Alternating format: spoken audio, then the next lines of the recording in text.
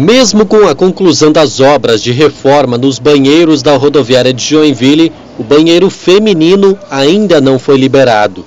Isso porque, segundo a prefeitura, foram encontradas irregularidades pela CEINFRA na vistoria final. Agora, a empresa responsável pela obra terá de fazer readequações. A expectativa é de que o banheiro feminino seja liberado na próxima semana.